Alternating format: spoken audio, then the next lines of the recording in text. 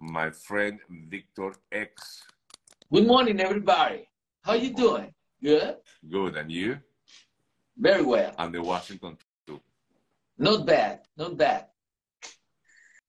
Señores, bueno, eh, la huelga de guionistas continúa. Si ustedes pasan por la avenida Van Ness, en Los Ángeles. ¿Dónde queda eso?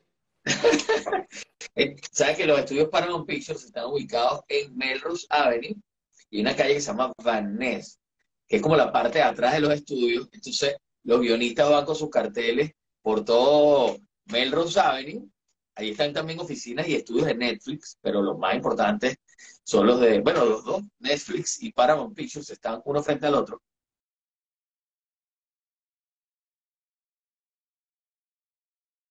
Y que están protestando y esta huelga podría durar, como en el 2007 ocurrió, hacía 16 años que no veíamos una huelga de guionistas en Hollywood, ocurrió durante tres meses y ocho días en el 2007 y esta promete estar un largo rato con los guionistas protestando por mejoras salariales. Mejoras salariales, pero tengo entendido Entre otras cosas. que de hecho ellos dicen que sin contrato no hay guiones.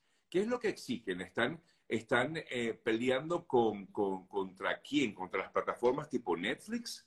Claro, están, están peleando contra los estudios, contra los estudios que los contratan. De hecho, eh, uno de los, o sea, los quienes peor la pasan en, cuando hay una huelga de este tipo son los, los talk shows como los de Jimmy Kimmel, Jimmy Fallon, etcétera, porque dependen de los guiones y además no pueden salir al aire sin, sin dándole la espalda a los guionistas que son, ¿sabes? Como la semilla más importante que tiene su, su programa y también las series, las series de televisión sufren mucho porque son filmadas prácticamente las que están en medio de, de estrenos, que están entregando capítulos, que están en medio de temporadas, bueno, se van a detener por meses y eso podría, podría, podría complicar las producciones, más, más allá de las producciones que ya están, que ya están listas. Pero sí pelean, están, están peleando por, por, por sus mejoras y además eh, ven sus trabajos amenazados también por la inteligencia artificial. O sea, hay varias demandas importantes por las que están protestando los, los guionistas. Bueno, de hecho estoy leyendo aquí un, un comentario que hizo uno de los eh, que está en huelga. Dice, quieren que trabajemos por muy pocos sueldos, sin garantías, y en este país es eh, fácil. Si trabajas duro, mereces realmente un salario y al parecer no está pues pasándole o no está ocurriendo con ellos. Así es. Así que, bueno, eso es eh, exactamente lo que están, por lo que están peleando los guionistas en Hollywood en estos momentos, por su mejora salarial.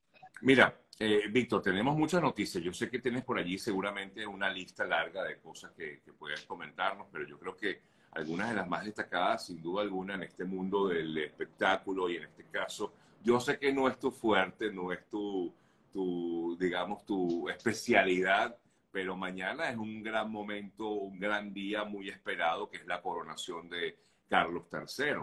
Eh, yo sé que, por eso yo sé que tú pones esa cara, no es tu especialidad, yo sé que no es, no es tu... Yo no es soy un tema. príncipe, pero la verdad es que no es mi fuerte. No es tu fuerte, eso se lo dejamos a otros, pero, pero bueno, pero ahí se espera, eh, de hecho, es un gran día tomando en cuenta de que cuántos años no han pasado, desde el año 53 no ha habido una coronación de un rey en, en, en Inglaterra. Recuerden que su madre, la reina Isabel, fue la última en haberse coronado mañana, entonces será después de 53 años cuando se da una coronación de nuevo en Gran Bretaña.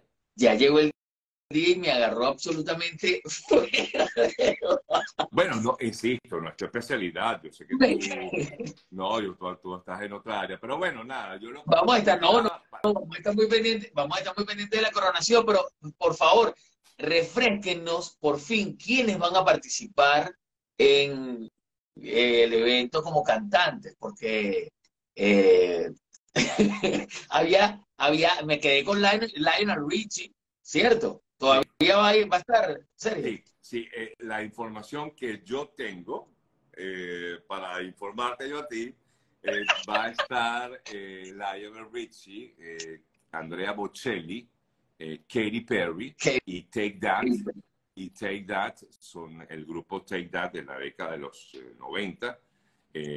pues como que se reunieron y van a estar, no sé si va a estar Robbie Williams porque no lo ha confirmado, pero por lo menos los ex integrantes de Take That van a estar en el show, ya que muchos renunciaron a eso muchísimos renunciaron a eso y bueno, ya están viendo. Elton John dijo, no, no, yo tengo una fecha en China.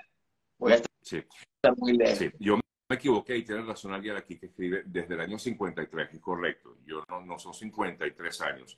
Desde el año 53 es que no se hace una eh, coronación, así que han pasado 70, no, no 53, sino 70 años que no hay una coronación en, en Gran Bretaña. Ok, dejemos el tema. Dura la reina, estaba dura la reina el tema de la realeza británica para entrar en la realeza de Hollywood. La realeza de Hollywood y, los problemas legales que hay eh, por ahí. Bueno, la policía de, Los Ángeles, el APD, confirmó que se abrió una investigación contra Edgardo, Edgardo, Edgardo Díaz por las declaraciones de Roy Rosselló en esta serie que fue estrenada por Peacock que se llama Menéndez, Menudo eh, Boys Betray. Edgardo Díaz fue el manager y creador del concepto de menudo.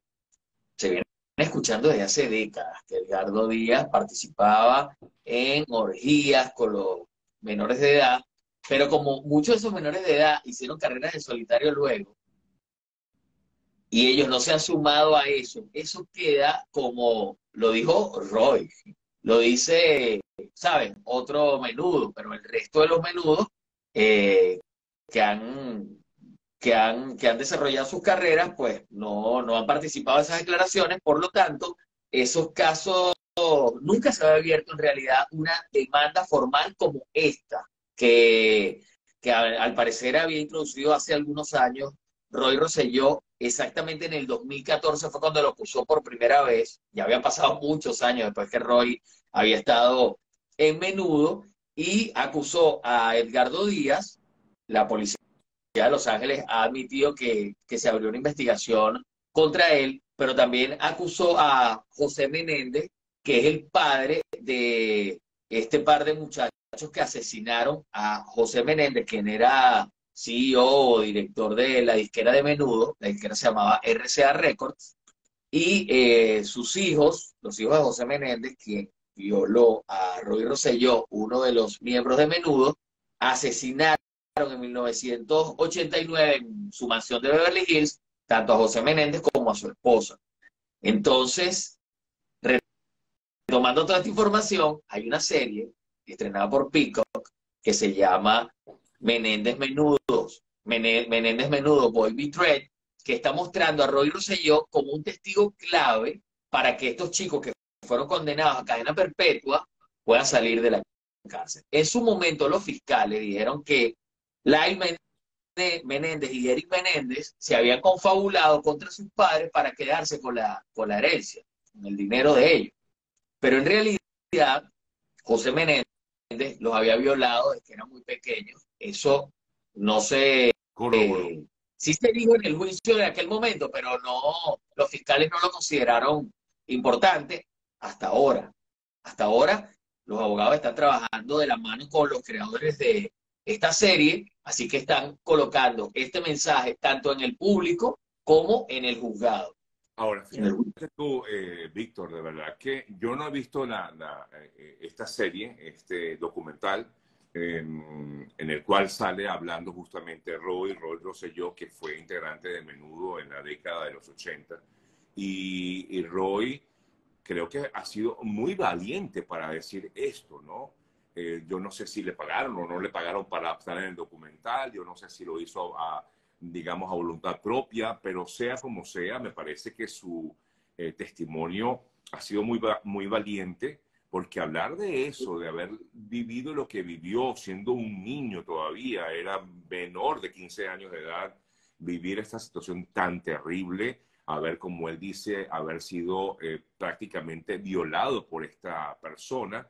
Eh, oye, qué fuerte para él lo que él vivió y tener que contarlo y ahora, porque de hecho no se quedó solamente con expresarlo a través del documental, cosa que me parece muy bien, sino que lo llevó a la acción a introducir como tal la demanda ante el Departamento de Policía de Los Ángeles. Sí, bueno, se transforma sí, en una declaración poderosa, importante.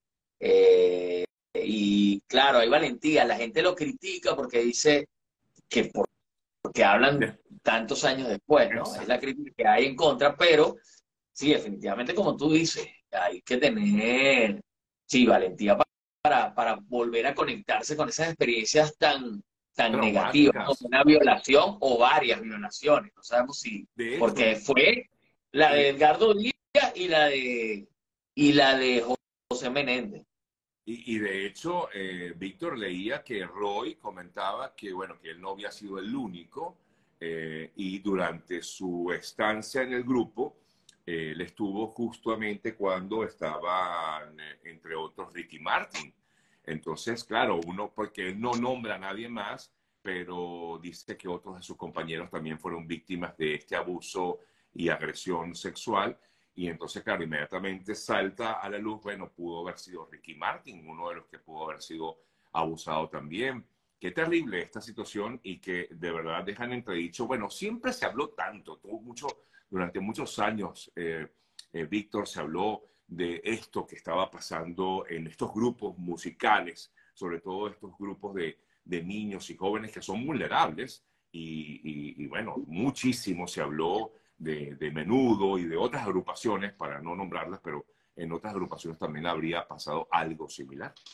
Sí, sí, sí, definitivamente. Y Edgardo Díaz hace muchos años se, venía diciendo que, había abuso, eh, que vestían de mujer eh, o se transformaban así, vestían a, los chicos y hacían orgías, fiestas, eh, donde abusaban de ellos donde había muchísima droga. Eh, con respecto a Edgardo Díaz se decía eso. Y la demanda se hace en Los Ángeles porque la denuncia de violación es que ocurrió en el Hotel Billmore de Los Ángeles en 1980. Por eso se hace en Los Ángeles, por eso él, él eh, introdujo la, la denuncia o hizo la denuncia. ¿En el 80 o en la década de los 80? Porque creo que eso fue ya más, más adelante, Víctor, creo. Eh, sí más eh, adelante, creo, creo que sí. No fue 80 exactamente, pero bueno, no importa. Está bien. sí, exacto. En la década del 80, en el Hotel Billmore, en uno de los viajes que, que tuvieron a la ciudad. Pero por eso se hace en Los Ángeles y por eso la policía de Los Ángeles le ha expresado a ciertos medios que han, que han, los han contactado para saber si de verdad la denuncia está, eh, la investigación está en proceso. Eh, la policía de Los Ángeles respondió que sí, que, se abrió este, Pero no investigación. hay detención de esta persona. No, no, no, en medio, está en medio del proceso de investigación. Apenas eh, la información se conoce porque tratando de corroborar con la policía de Los Ángeles, la policía respondió que sí, que está abierta la investigación en contra de Edgardo Díaz, pero no hay más información. Es esa. Solamente la información que hay es la serie y por supuesto las declaraciones de Roy, que son parte ya de los tres capítulos de la serie que pueden ver en Peacock, y bueno, de las promociones de la serie, que fue donde lo vimos desde el primer momento. Y la serie, bueno, ya saben que trata no solamente los abusos de menudo, sino también el caso de, los hermanos Menéndez y justifica por qué estos muchachos se pusieron de acuerdo para asesinar a su papá, porque el papá los, los violaba y la mamá no hacía nada para defenderlos. Sí, sí, sí. terrible, ¿no? Tener que, vivir que tu papá, que tu propio padre sea, sea quien tu violador. O sea, porque en el caso de Roy, que te viole una persona que es el manager de un grupo con el que tú trabajes, ya es una persona ajena, pero que sea tu propio padre quien te viole, fuerte, ¿no? Muy fuerte, muy, fuerte. Mira, eh, otra de las noticias importantes que tenemos para el día de hoy es eh, el fallecimiento de Jock Sofrilo, que fue uno de los jueces más importantes de, de Masterchef en Australia. Eh, lo encontraron muerto el lunes a los 46 años. Él había publicado en su cuenta, su cuenta de Instagram que eh, estaban eh, estrenando la nueva temporada el lunes, cuando lo encontraron muerto. Y en esta nueva temporada había trabajado con Jamie Oliver, un chef súper famoso eh, de hace muchos años, es un joven chef, pero ya tiene como, en la industria de tener como 15 años. ¿no? Creo, sí. y, y Jock Sofrilo es, escocés, Jamie británico, y bueno, el lunes comenzaba la, nueva temporada, pero los productores de film decidieron aplazarla. En sus memorias, llamada Last Shot, en 2022, Jock Sofrilo confesó que había vivido una especie de, pesadilla por su adicción a la heroína. Eso lo confesó en 2022. Pero las declaraciones de la familia, que no explican nada, sino que dicen que desean que el público respete su privacidad, nos dice, cada vez que vemos esa declaración de la familia diciendo que respeten la privacidad, es porque hay algo raro, como por ejemplo una sobredosis o un, suicidio. Mm. Entonces, no se sabe todavía, o sea, en algún, dentro de tres meses, cuando los patólogos hagan su trabajo, eh, ¿sabes? Los doctores, etcétera, eh, que han estudiado el cadáver, eh, seguramente eh, presenciaremos las declaraciones acerca de qué fue lo que ocurrió con eh, Sofrilo y nos sorprenderemos, porque en el caso de Avicii nunca nos imaginamos que se había suicidado, nos enteramos luego. Pero si comparamos la declaración de la familia con esta, es la misma, es igual. O sea, es el mismo comunicado. Entonces, pudo haber sido o una sobredosis por heroína, él consumía heroína desde que era joven, eso confesó en su memoria, o un suicidio. Wow, wow, wow. Bueno, y tenía solo 46 años de edad, ¿no? Increíble. Por cierto que en ese Masterchef de este año hay por allí una, una venezolana que está allí en, en Masterchef de Australia. Mira, Víctor, te preguntan por uno de tus temas favoritos, hablar de Jamie Foxx. Jamie Foxx, Jamie Foxx. Mira, no sabemos qué es lo que le pasa a Jamie Foxx. Esta semana publicaron un mensaje en su cuenta, pero no sabemos si es Corinne, que su hija, que publicó un mensaje en su cuenta como para tranquilizar a, a las personas que están tratando de los medios y, paparazzi y todo el mundo tratando de, buscar información acerca de lo que ocurre eh, con Jamie Foxx. Nosotros lo conversamos desde el primer momento, antes de que se enterara, antes de que Jamie Foxx llegara al hospital, fuera hospitalizado en medio de una crisis. Nosotros habíamos comentado una, una noticia de Cameron Díaz, donde Cameron Díaz decía que lo único desagradable de su eh, experiencia con Jamie Foxx en Back to Action era enfrentarse a las crisis que había sufrido Jamie Foxx. O sea, Cameron Díaz fue la primera persona que declaró que Jamie Foxx estaba sufriendo unas extrañas crisis. No sabemos por qué no dio más detalles. Entonces no sabemos si es, ah, lo hemos hablado aquí, un problema mental de otro tipo o si es esquizofrenia o qué tipo de problemas, pero se ha hablado de todo. Se ha dicho que la policía estuvo en el set porque Jamie Foxx sacó una pistola porque alguien le había robado un reloj de esto que le gusta a Shakira. No quiero mencionar la marca. Este, le robaron un reloj eh, y, un reloj de estos caros eh, y eh, parece que sacó una pistola y amenazó a alguien. Entonces llamaron a las 911 porque estaba una pistola en el estudio, alguien armado. Al parecer era Jamie Foxx, pero todo esto son rumores que ni siquiera están confirmados por medios especializados en, en rumores como TMC. Y, y, entonces lo que pasa ahorita es que... Eh, lo que pasa ahorita es que esta semana varios amigos íntimos de Jamie Foxx estuvieron en sus cuentas pidiendo oraciones por Jamie Foxx, por la salud, y apareció de repente un mensaje en la cuenta de Jamie Foxx sin ninguna, no, no, hay ningún video y Jamie Foxx diciendo, hey, guys, estoy bien, sino un mensaje de allí que no se sabe si lo escribió él, diciendo que, que, que, estaba agradecido, agradecido por toda la atención, agradecido por todo el apoyo. Eso es lo que dice el mensaje, pero no sabemos si lo escribió en realidad Jamie Foxx. Lo que sí es que si no aparece ningún video de Jamie Foxx, ninguna fotografía eh, o bueno, video de Jamie Foxx una prueba de vida, no sabemos que, en qué condiciones está Jamie Foxx, ¿sabes? Porque eso es, muy extraño. Todo esto es demasiado extraño, todos los rumores que hay alrededor. Despidió un director, despidió un productor ejecutivo, sacó una pistola en el set, le robaron un reloj y por eso sacó la pistola en el set y ahora está hospitalizado desde hace, ¿cuánto tiempo estamos hablando de esto? Un mes. Tres semanas, cuatro semanas tenía. En el hospital. Y, y, pensar que, bueno, uno, claro, uno como espectador lo que ve es solamente lo que transmite a través de la pantalla. Me parece un excelente actor y tú dices, wow, qué, qué, dinámico, qué, qué, buen actor y, y, ya, ¿no? Y no te imaginas nunca todo lo que puede haber detrás de una persona con, bueno, como tú siempre has comentado, estos problemas de salud mental son muy heavy en, Hollywood. Hace mucho tiempo yo lo entrevisté, fue un tipo muy simpático, cantó, y me respondió súper chévere, ganador del Oscar por, por la película Ray, por hacer de Ray Charles, tipo que, que tocó el piano junto a Ray Charles para preparar el programa, o sea, un súper actor, es una súper estrella y fue súper amable, Venezuela, wow, sí, increíble. Pero si me pongo a compararlo, su, su característica fueron iguales que cuando entrevisté a Robin Williams. Es decir, tú nunca sospechabas que Robin Williams tenía una enfermedad mental que lo llevara al suicidio.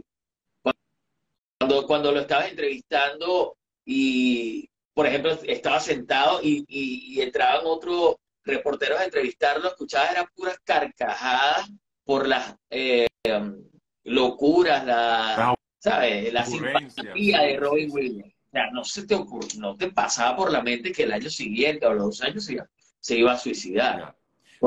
Y te consulta, eh, y es que eh, no sé por qué preguntan si tenía Parkinson o tiene Parkinson. Jamie Foxx, no creo que tenga Parkinson. No, Parkinson, yo creo que, o sea, pero claro, eso, yo tratando de adivinar qué le podría pasar, yo creo que debe tener algo así como crisis de esquizofrenia.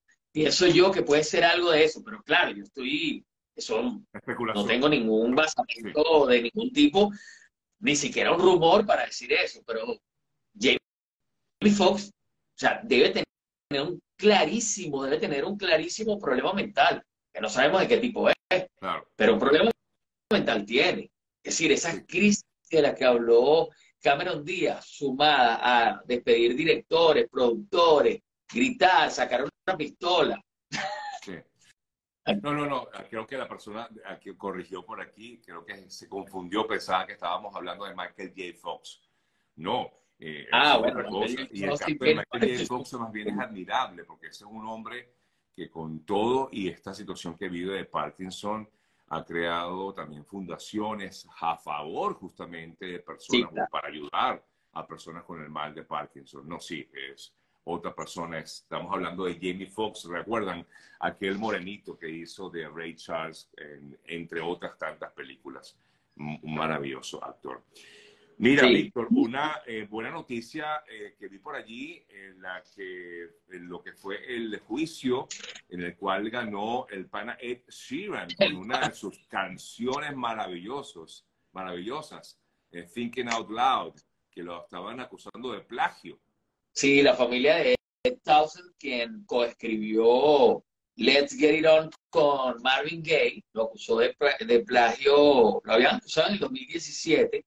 Thinking Out Loud es un tema del 2014, bueno, una super hit que todos hemos escuchado y eh, ocurrieron varias cosas en ese juicio. Luis, Luis Stanton es el juez que decidió, juez de la Corte de Manhattan, que decidió que el tema del británico es original, si bien tenía algunas similitudes y tal, pero cuando tú escuchas las dos canciones, bueno, no escucho tantas similitudes como para que haya una demanda de ese tipo para nada.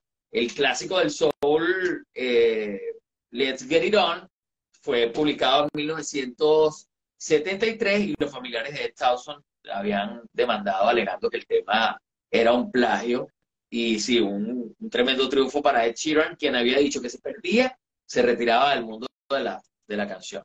No cantaba más. Sí, menos mal, porque de verdad que te soy sincero, eh, Víctor, eh, me parece uno de los artistas eh, con, primero con un talento eh, impresionante, eh, un estilo, a mí me gusta muchísimo el trabajo que realiza Ed Sheeran de los nuevos artistas que han surgido en los últimos años y, sobre todo un maravilloso compositor, de verdad que, oye, qué difícil cuando, cuando pasan estas cosas de plagio. Eh, bueno, sí, es que, a ver, yo digo que uno como músico, yo no soy músico, pero el músico de pronto bueno, se te queda una, una melodía aquí en la mente y tú crees que es nueva y de pronto ya alguien la escribió, ya alguien la compuso, ya alguien la, la, la, hizo y, y, bueno, surgen este tipo de, de, acciones. Eh, ojo, el tema de los plagios en, en, la música data de muchísimos años. Miren, por decirles de tantos plagios que dicen que hay eh, y que al parecer algunos son ciertos o no. Eh, por ejemplo, la canción Bittersweet Symphony que es muy conocida de Verve, supuestamente es un plagio de una canción de los Rolling Stones. Los Beatles tienen muchísimas canciones que dicen que son originales de o, o, versiones, mejor dicho, plagiadas de, otros artistas, entre tantos y tantos. Es que, bueno, si se pone... Shakira tiene varias. Shakira tiene unas cuantas, ahorita con el cuento de la nueva. Pero yo no lo veo tan inocentemente como tú. yo no lo veo tan inocente. No, se me quedó en la mente la melodía. Yo creo que los productores tratan de imitar lo que lo el éxito. Los productores tratan de imitar el éxito. Yo no digo que sea inocente, pero a veces, sí, a veces no. A veces son totalmente. Es una canción, a veces sí, a veces no. Ah, eh, cuidado, me, me, me demandan a mí por plagio también, ¿no? Mira, a que sí demandaron fue a tu amigo personal Kevin Costner, su esposa. Una demanda de divorcio le introdujo mientras Kevin Costner estaba en Utah filmando Horizon. Ustedes saben que Kevin Costner ha, trabajado en cinco temporadas y media de Yellowstone, una serie de la que se ha hablado mucho, un padre y su hija tratan de hacer, están dispuestos a hacer lo que sea para conservar su rancho. Y resulta que mientras el hombre estaba tratando de conservar el rancho, la esposa lo ha demandado, le ha introducido una demanda de divorcio Christine Baumgartner, una modelo y diseñadora a quien conoció en el 2004 en un curso de golf, al verla, una mujer de verdad bellísima. Y este es un galán, se acabó todo el guardaespaldas. Kevin Costner, el director ganador del Oscar por Danza con Lobos, y esta mujer, Christine Baumgartner, tienen 18 años de relación, tres hijos. Y adivina por qué se cree que esa dama le pidió el divorcio. Porque le estuvo montando cacho con otra, ¿no? Estuvo montando cacho. Eso es lo que se dice, un rumor. Los abogados de Kevin Conner han dicho, ¿quién está diciendo eso? El periodista, el reportero que diga eso será demandado. Así que no, lo digo, fuiste tú. No, yo te, tú me estás preguntando yo te estoy respondiendo. Porque le montó cacho. No, no sé. No, no, no. Tú respondiste que porque le montó cacho. Señor, ustedes van a ver esta grabación. ¿No que me metan una demanda? No, no, yo no quiero que te metan una demanda. Tú dijiste eso y los abogados han, han los abogados de Kevin Costner han amenazado que cualquier persona persona que asegure que Kevin Conner le montó cacho a su esposa será demandado. pero lo que se dice... No, no, no, me metas a mí en ese rollo, ¿vale? Lo que se lo puedo asegurar. Dice, pero, pero es lo que en teoría fue lo que ocurrió o no se sabe tampoco. Cuidado. Bueno, en teoría... lo que dice, no, yo, yo, no digo nada, señores abogados de Kevin Conner, pero fíjense lo que dice, dice, tras bastidores, Sergio, tras bastidores, se dicen que Kevin Costner preñó, empreñó, oh como dirían por ahí, en Valencia, en Cumanano, empreñó a una empleada de Yellowstone. Al parecer embarazó a una empleada de, Yellowstone, a una miembro del staff. No se sabe si es una asistente de producción, productora, actriz. No creo que sea actriz. De inmediato los abogados de Kevin Conner salieron a desmentir, pero ya los tweets habían sido publicados. Ya el pajarito había trinado. Ya, ya, ya, ya, ya, ya. Bueno, eh, ya veremos entonces qué pasa con, esta demanda. No, mejor, mejor me quedo callado porque uno nunca sabe. Aquí me están echando broma, me dicen, cuidado, Kevin te ve. Y digo, no, yo sé que no me ve, pero uno nunca sabe, de verdad, qué puede pasar. No, los abogados de Kevin están revisando las redes sociales. Mira, cuando, el juicio de... Le voy a contar una anécdota muy corta. Cuando el juicio de, Amber Heard y Johnny Depp. A mí me contactó una compañía de relaciones públicas a decirme que no debía publicar en contra de Amber Heard y es una compañía de relaciones públicas dirigida por alguien importantísimo. Me contactó directamente por mensaje a mí. Mira, bájale que eso no es, o sea, sí, me dijo, tú no puedes seguir publicando. Yo puedo publicar lo que yo quiera.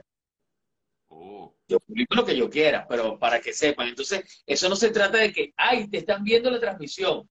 Estas compañías de, funciona de esta manera, queridos amigos. Las compañías de, por ejemplo, los abogados de Kevin Costner, en el caso de Amber Heard, contrataron a empresas de relaciones públicas de varios continentes para que contacten a los que estaban publicando en contra de Amber Heard y trataran de frenar las publicaciones o de, ¿sabes? Eh, o que fueran en contra de Johnny Depp. O sea, como estrategia.